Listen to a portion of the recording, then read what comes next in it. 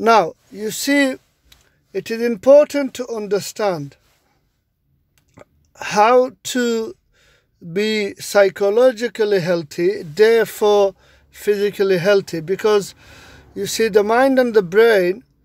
Um, what I mean is, you one has to be psychologically healthy to be physically healthy because if your mind is confused, if you are always anxious and stressed out, if you are always frustrated, then your eating habits, you know, basically you will not follow a balanced diet, you will not sleep properly, and therefore this will affect your physical health, your biochemical health.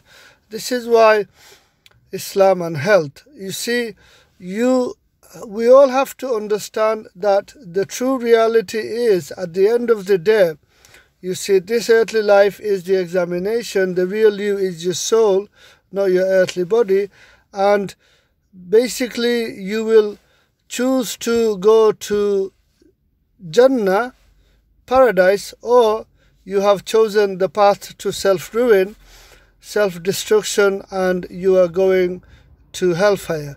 That is, if you live your earthly life as a non Muslim, meaning you have rejected Islam, you have rejected Quran and Sunnah, you, are, you have rejected Allah, the one true God. Therefore, you have lived your earthly life based on your desires and based on your uh, particularly based on non-Muslim ideologies. Uh, for example, uh, an atheist, uh, a Darwinist, uh, a follower of Christianity, a follower of Hinduism, and so and so forth. So you see, if you have lived your life based on non-Muslim ideologies, then and also you have associated partner with the Creator Allah, then you will end up in hellfire and stay in hellfire forever. Forever. Having said this, the Creator Allah knows best. Um, so why I say Sunni Muslim because there are um, concerns regarding Shia uh, Muslims because Shia do uh, some of the Shia talk about the 12 Imams having um, uh, power capability uh, similar to uh, the Creator Allah, Astaghfirullah. Uh, but that is all almost that is actually, uh, if not almost, uh, then associating partners with Allah. So it's shirk.